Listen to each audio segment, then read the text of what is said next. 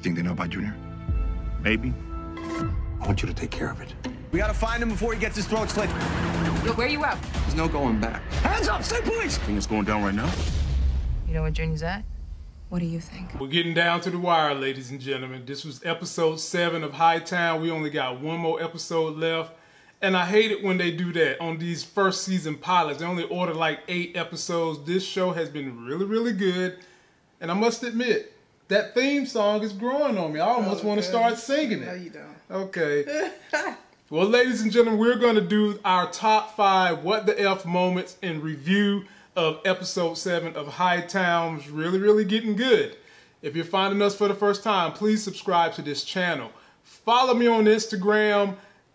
Go and subscribe to Life Gain Reviews. We will be putting videos up as we vlog about our baby coming in, and I'm going to be vlogging about being a stay at home dad, how to work out, how to make money, and generally showing men how not to spoil a little girl.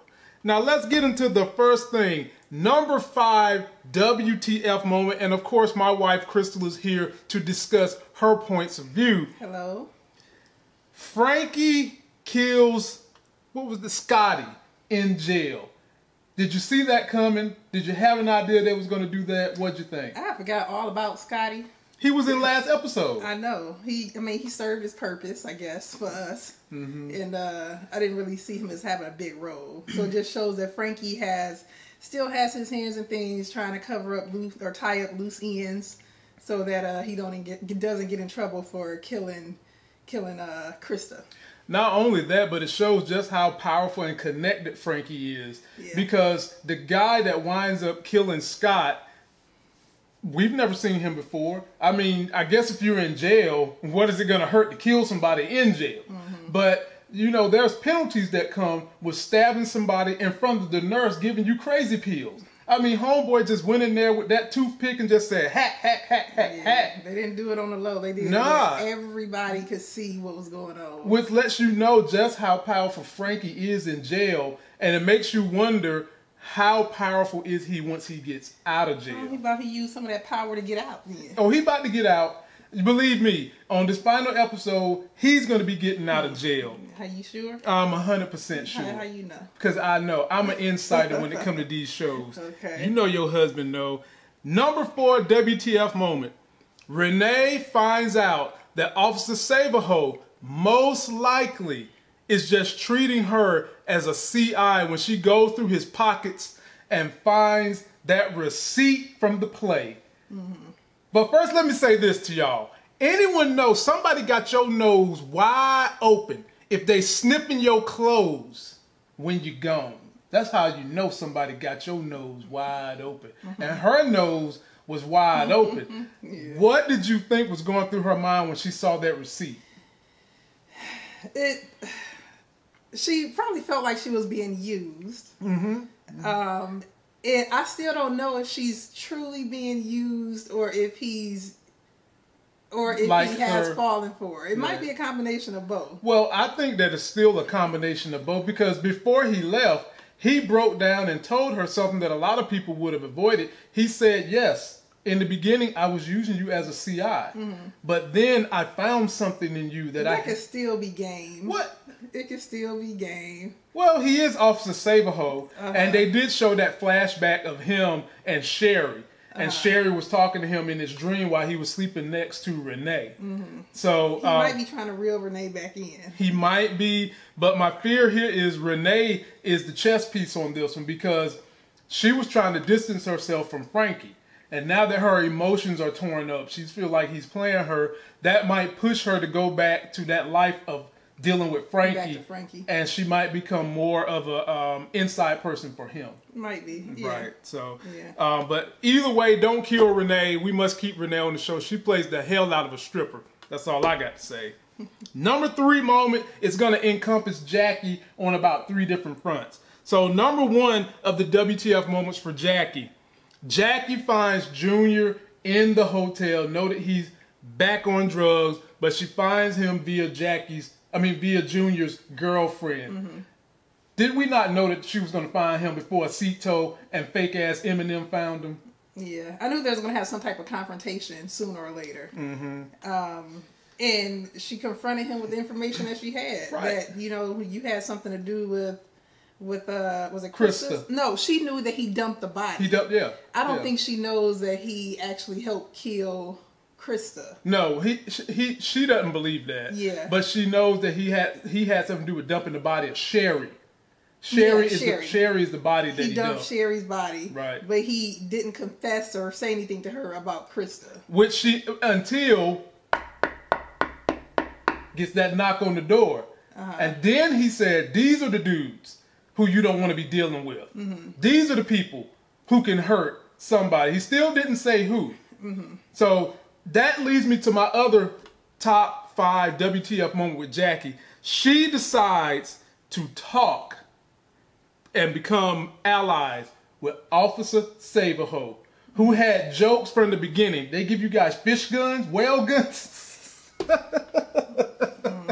He ain't in no place to talk. Right. He ain't got a lot of room to talk. Right. And when they formed that alliance, she let him know that a big black dude and a young white dude, he whips out the picture, shows who Acito is. She's like, yeah, that's him. Right. And so now they're on the hunt. They're chasing down that forerunner. They never find it until later on in the episode when they find the forerunner at what looks like it was a hotel, but it was an apartment complex. Mm-hmm. Homeboy, Hispanic or whatever he was, Dominican Republic comes out. He's not talking to Officer Saberho. Renee, apparently Black Lives Matters or Latino Lives Matters because she wasn't having him trying to call immigration to deport I him. mean Jackie. Jackie, right. Uh-huh. She talks to him and he lets her know where he really got the car from. Uh-huh. How did you feel that whole inter- that whole interaction went down? Uh, It it it shows that Jackie is a is an integral part of that team. Mm-hmm. So I think they realize that they can't get far without her, and she needs them as well to, you know, go on this mission of saving and redeeming herself. Right. Um, so she got a critical piece of information that they needed. Mm-hmm. tied up a loose end Right. by helping them know that okay, this is Junior with Aceto, and now that they found Homeboy, they know they know where Junior and Aceto might be escaping, which leads to our number two WTF moment. Cito, what's going on, man? You talk to the cops yet? Oh, man, please, come on. Oh, Cito, you ain't got to do this. Aceto saves Junior and shoots fake ass Eminem. Mm-hmm. Did we not see that coming? Right. I mean, he was getting on Cito's nerve the whole episode. whole episode because he has no ethics. Yeah. He was in there talking when they went in there to hem up Junior's baby mama. Mm-hmm. He's in there talking about when the doctor when the doctor delivered my baby mama's kid, I told him to stitch that pussy back up. And she's looking at him like you gross MF or ill, make it tighter is what he said. That's what he said. I know. And and and, and though. heard that. And Aceto's looking at him like, you crummy, grimy, blah, blah, blah. Then they walk outside the building. He's still talking that dirty crap. And we know Aceto plays chess. So Aceto's thinking, how you going to be one of my henchmen and you have no ethics? You doing your own thing. Right. So then they get Junior. They go out to the woods. Me and you been said Aceto ain't gonna never kill Junior. We said that. Not with a direct blow. And instead of killing Junior, Aceto turns that gun, shoots up fake ass Eminem to have an alibi with Frankie. How do you think this is gonna go down between Aceto and Frankie? Well, Aceto declared that he's going his own way. I mean, when was it? I can't remember when it was in this episode when he said, "Frankie's on the inside. I'm out here doing all the work." So That was when Frankie. That was when they left um, Junior's girlfriend house when he was talking to fake ass Eminem. yeah, yeah, So Aceto's doing his own thing right now. Mm-hmm. Um, I don't know when he's going to make the a formal split from Frankie, but he was just saying, "Screw Frank- Frankie." I'm in charge, um, and this guy has been going trying to trying to get on his level. And when he telling him, "You work for me," Yeah.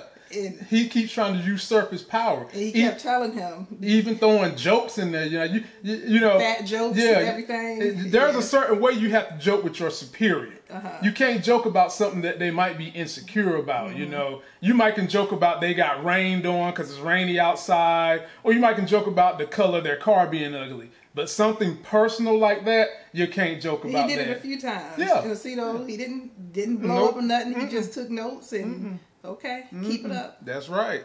And that leads us, ladies and gentlemen, to the number one WTF moment. And I'm sure you all had this as your number one moment too. Junior is found in the bathroom at the bus depot OD. I said OD, I didn't say dead, because I think they want us to think he's dead. Now, me and Crystal have discussed this that we feel like Osito, because we know he plays chess, not checkers. We feel like Osito knew Junior was not going to get on that bus and go to Miami. Mm-hmm. And when he gave him that stash of money, we both feel like Osito knew Junior was probably going to either take his own life in OD or go somewhere in OD anyway. Mm-hmm. But then that leads us to this. Do you think Junior's dead? I think it would serve the storyline Mm-hmm. a lot more, or you know, it would serve the storyline better for him to be alive. Right, right. Because then you would have Frank in jail, Mm-hmm. mad that Aceto didn't carry out the orders that he told him to carry out. Mm-hmm. Yeah. So I think, you know, I wouldn't be surprised if he was he was still alive. But I didn't see Krista's death coming either. Mm-hmm. Right. So I don't know. I think they can go either way. But if I had to bet for the storyline, I would say that he's still alive. Me personally, I saw Krista's death coming, even though I didn't want to.